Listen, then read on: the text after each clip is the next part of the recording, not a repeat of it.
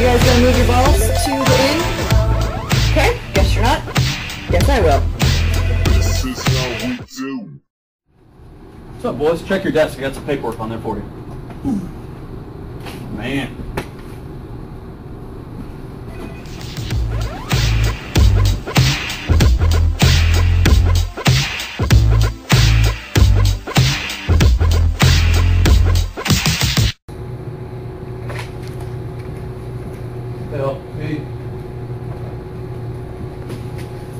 Hey guys, what was the name of the player that hit that home run off Roger Clemens at our ballpark?